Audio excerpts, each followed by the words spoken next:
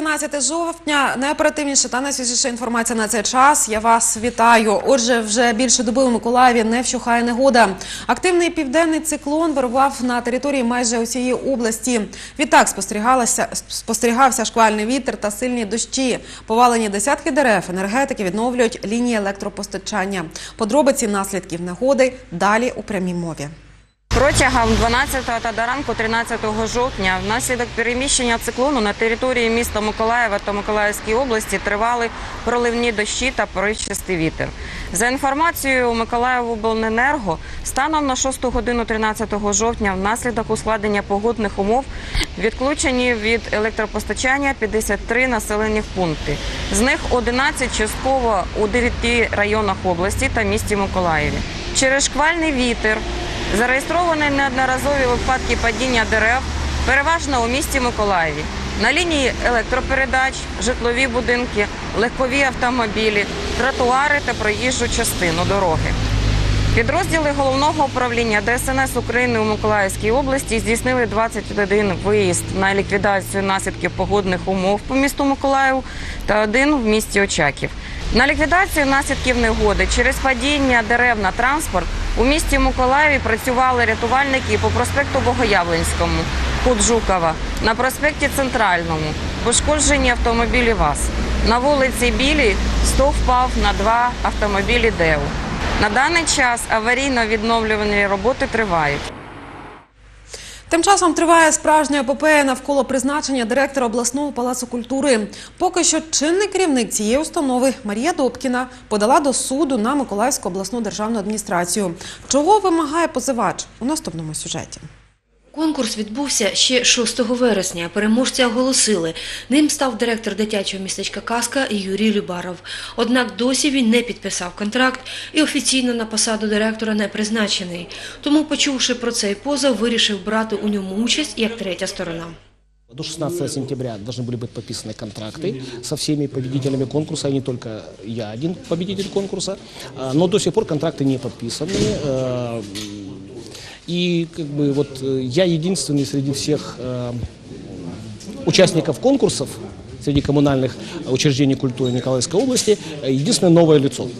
А Вот, поэтому все остальные победители это те же, кто руководил заведениями до этого. А я единственное новое лицо. И вот э, сегодня все уже как бы остаются на своих местах, основной контракт до сих пор не подписан, и на самом деле непонятно почему.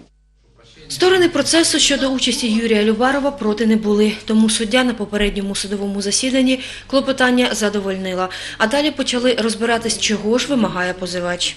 В процессе проведения конкурса, на мой взгляд, были нарушения. Нарушен именно сам, сам процесс э, конкурса. Если принято решение о таемном голосовании, то таемное голосование превратилось в публичное высказывание, мнение, поиски решений, как, кого учесть, кого не учесть. Если что-то в бюллетне не так, то есть в данном случае мы четко предоставили даже этот фотоснимок, и в бюллетне будет видно, что отметка идет и на Любарова, и на Мороза. То есть, ну с какой стати ее, почему ее не Морозу, там основание на Мороза попадает, верхушка на э, Любарова.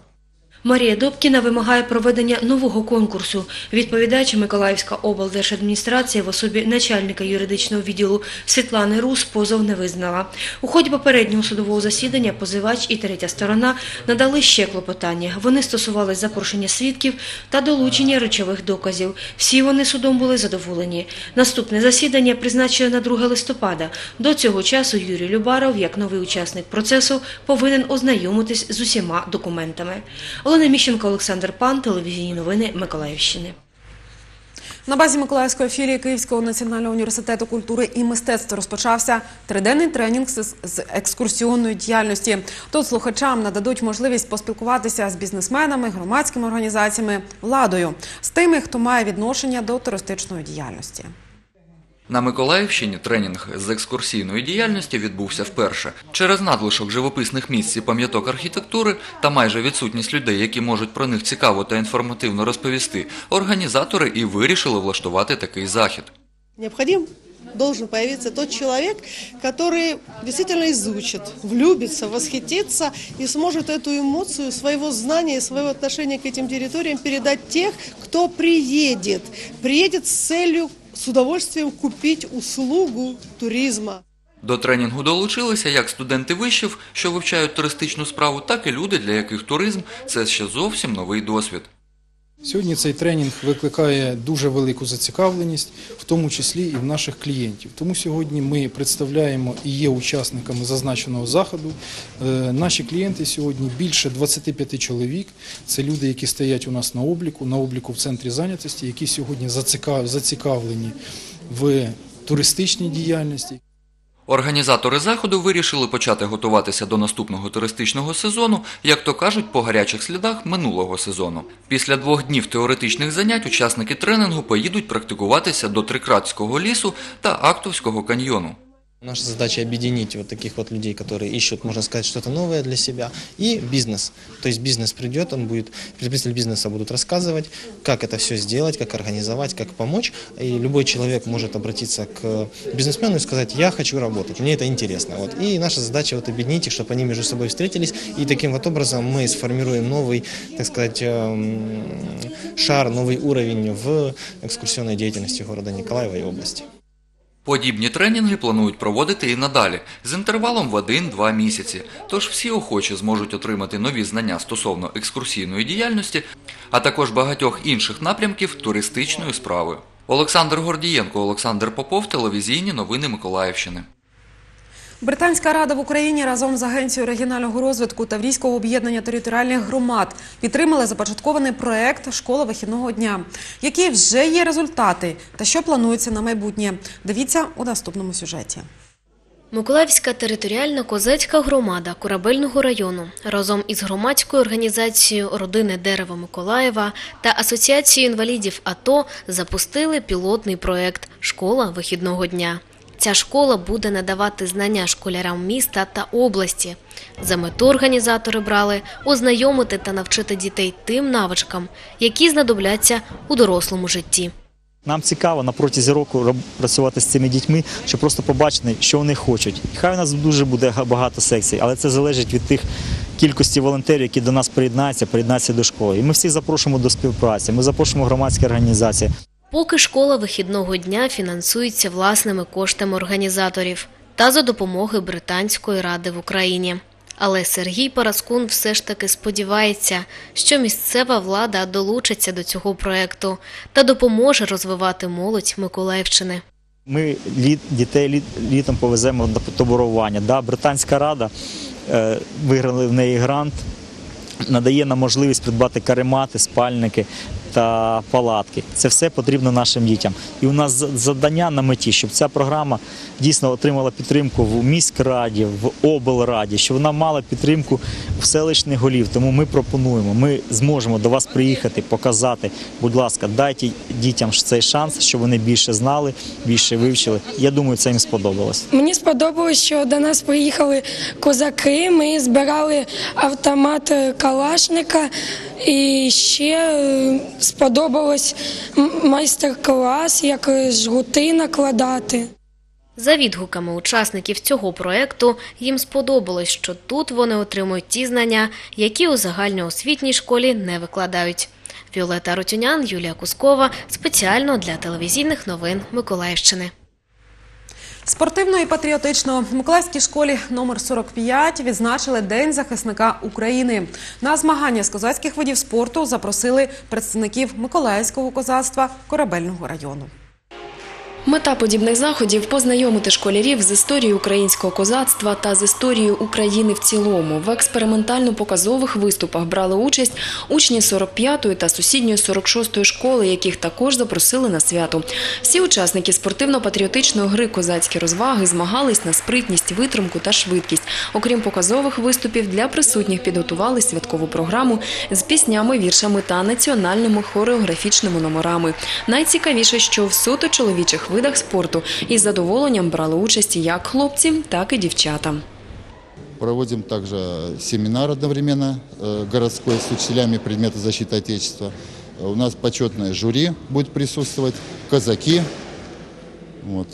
И с точки зрения выполнения э, концепции национально-патриотического воспитания и областной программы по военно-патриотическому воспитанию с этой целью мы проводим это мероприятие. Сегодня, э, как нам сообщили несколько учеников, ну, выпускников, назовем их старших классов, э, изъявили желание э, пройти посвящение в казаки.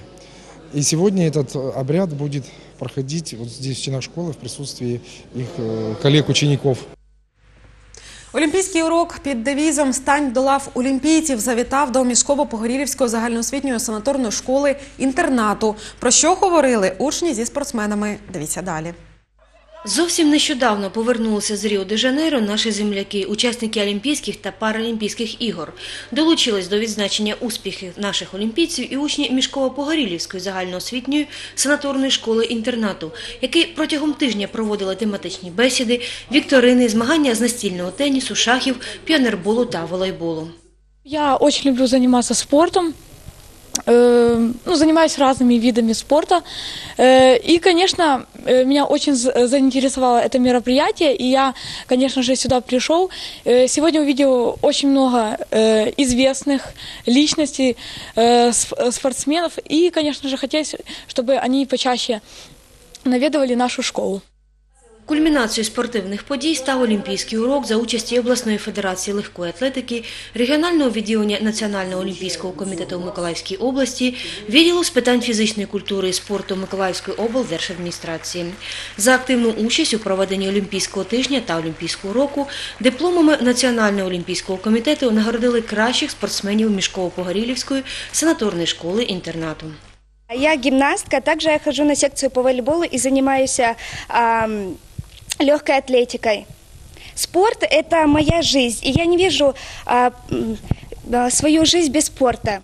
За вагомий внесок в розвиток вітчизняного спорту та олімпійського руху в Україні нагородили подяками від регіонального відділення Національного олімпійського комітету директора Мішково-Погорілівської загальноосвітньої школи-інтернату Володимира Шияна, вчителів фізичної культури і спорту Андрія Сладкова і Миколу Мушківа. Здесь, в этой школе, я вот недавно работаю, и, в принципе, э, есть все, начиная от директора и заканчивая детьми, которые гиперактивные, которые проявляют интерес во всем, они с открытыми глазами ловят все, что стремится донести до них учитель, и готовы работать э, на будущее, на результат.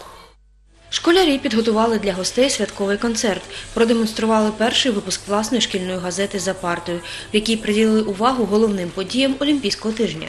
А на завершення Олімпійського року начальник відділу фізичної культури і спорту Олександр Садовський дав своє перше інтерв'ю шкільному телебаченню. Олена Міщенко, Вадим Кучмій, телевізійні новини Миколаївщини. Що ж на такій спортивній ноті ми завершимо денний випуск телевізійних новин Миколаївщини. Більше новин дивіться вже о 19-й, тоді й побачимось.